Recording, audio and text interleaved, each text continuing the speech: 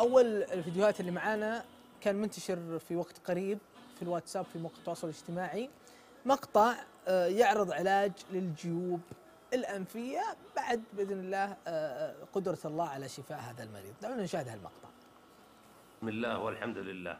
آه، أخواني آه، رأيت لي مقطع عن الجيوب الأنفية وأذاها وأضرارها ومحاولة الأطباء في علاجها والحقيقة الأمر كان يخفى على كثير من الناس أن علاجها في الحلتيت أو الحلتيت. الحقيقة شاهدت لي مقطع هذا وشوفوه يا أخوان. يا طويلة العمر والسلامة وأروح محل العطارة وأخذ قد الأصبع هذه قد أربع أصابع حلتيته. بعد ما فيا أخوان هذه الحلتيتة وامرها بسيط في نوع منها لين موجود لين وفي نوع آه، حجري. الحجري ما يصلح. وهي أحجام. أنا سويت حجمين لأن عندي أيضا من يعاني من الاجوب الأنفية ففتحة الأنف عندها أصغر. هي طبعا بحجم العبسة أو نواة التمر أو العجمة حسب ما يسميها الآخرين. جميع أنواع الأدوية جميع أنواع الأدوية هذه بخاخات استخدمتها. والحبوب والإبر. والإبر هذه ضارة يحذرون منها ال- ال- ال- الصيادلة. وجميع أنواع الحبوب كلها استخدمتها. لم تأتي بنتيجة مثل ما أتت به الحلتيته ولله الحمد والشكر طبعا هذا مصداقا لحديث المصطفى صلوات الله وسلامه عليه فيما فيما ورد في صحيح البخاري أن أبي هريرة رضي الله عنه روى عن الرسول أنه لم ينزل الله من داء إلا وأنزل له شفاء.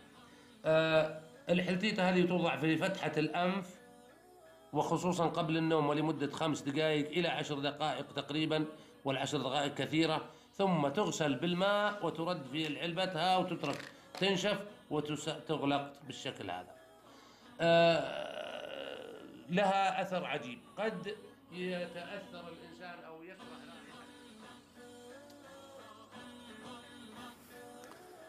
لمزيد من التفاصيل حول هالمقطع ومعرفة صحته أكثر والتعرف على هالطريقة معنا على الهاتف الأستاذ عبد الكريم بن عبد العزيز المقدم وصاحب المقطع. مساك الله بالخير. مساك الله بالعافية. يا أهلا وسهلا أهلا بك. ومرحبا بكم. الله يحييك. حياك الله أستاذ عبد الكريم وسعيدين بتواجدك معنا. وسهلاً. هالمقطع تم تداوله في مواقع التواصل الاجتماعي؟ ودنا تحدثنا عن تجربتك الشخصية مع هالطريقة. حياكم الله وبياكم وشكرا لكم ولقناتكم التي أعتبرها مشعل نور مشعل نور وهداية للجميع. الحقيقة بارك الله فيك. أنا لست بصيدلي ولا طبيب ولا ولكني أجرب مثل ما يجرب غيري. والحكمة ضالة المؤمن. هي له أين وجدها. آه، أنا رأيت المقطع قبل طبعا في ال- الواتساب ولكن ما كان دقيق في- وضوحه.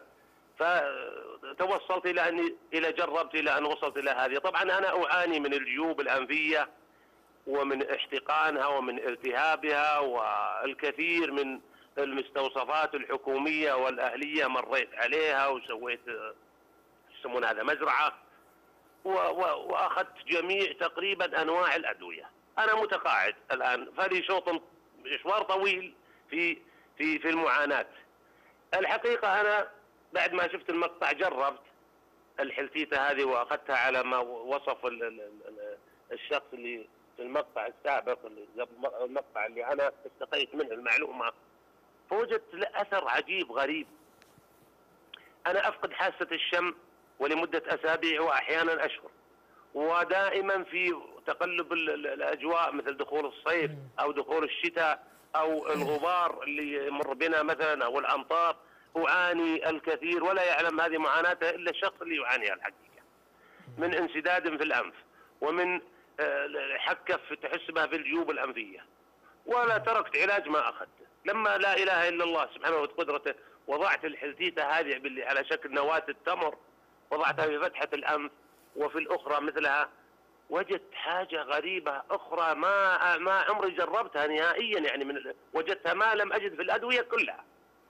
سبحان وجدت بارك الله أكرمك الله ان نزل معي حاجات من الأنف وصار يمشي عندي حاجات كذا بعدها أنفست. وصار التنفس عندي طبيعي.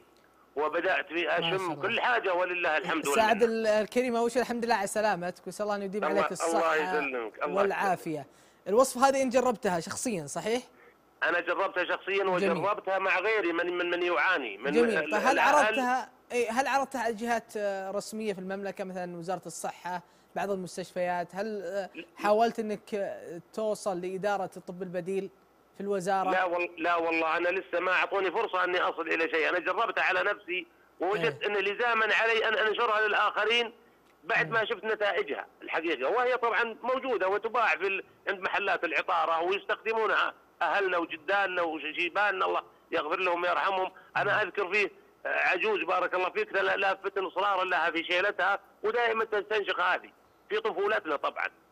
وأستغرب من هذا الشيء ولا ولكن فعلا ال- ال- التجربة هي خير برهان. مم. والحقيقة أنها عملت معي عمل من فضل الله عز وجل. كل شيء طبعا بيد الله. عملت معي عمل لا اجده في جميع الأدوية أو الإبر أو أو البقاقات اطلاقا. ليس قصورا في الجهود الطبية طبعا هي مدروسة ومفهومة ولكن آه، الطبيعة. يعني الله سبحانه وتعالى في مورد صحيح البخاري إنه ما أنزل الله من داء إلا وأنزل له شفاء. صحيح. هي الكريم. صمغيه طيب أستاذ نعم. عبد الكريم أنا أشكرك جزيل الشكر وهالتجربة يعني شفناها في المقطع. أنا أشكرك أستاذ عبد الكريم المقدم أنت صاحب المقطع المتداول يعطيك العافية. آه، عبد العزيز أنا يعني على هالتجربة آه، يمكن في شيء نقول إنه التجربة على شخص يمكن قد لا تعمم على التجارب الآخرين أو على الاشخاص الآخرين ونجاحها على شخص لا يعني بالتأكيد إنها تنجح على أشخاص آخرين. هي هي تجربة. فوق تجربة من هالشخص وإحنا تثبتها نقلناها الجهات. الرسمية اللي عندنا مثل وزارة الصحة ممكن لا وصلها هالمقطع وشاهدت مثلا هالمداخلة ممكن يتواصلون مع الشخص هذا ويثبتون هذه التجربة لأنه في كثير فعلا يعانون من الجيوب الأنفية صح. فإن ثبتت التجربة وأثبتتها وزارة الصحة بالفريق الطبي والعلمي اللي عندهم أكيد إنها بتفك صحيح ومثل أزمة. هالتجارب لا تغني بكل تأكيد عن زيارة المستشفى والطبيب بلا شك